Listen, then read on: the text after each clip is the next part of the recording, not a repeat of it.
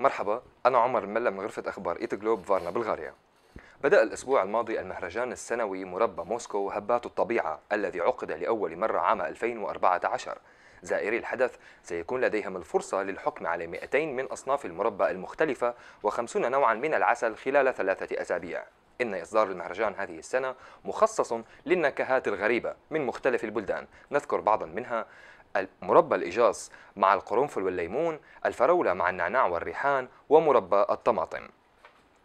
الحلويات ستكون متوفرة عبر 33 شارعا في العاصمة الروسية. إضافة إلى ذلك قسم من شارع كوزينيتسكي في وسط موسكو سيخصص لإنجلترا مع نسخة طبق الأصل لساعة بيج بين بحجم خمسة أمتار.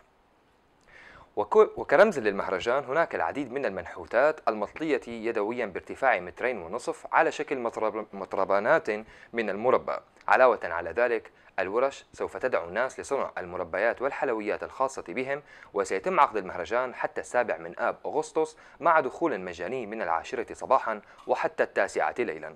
شكرا للمتابعة. للمزيد من التفاصيل والأخبار زوروا موقعنا eatglobe.qa إلى اللقاء.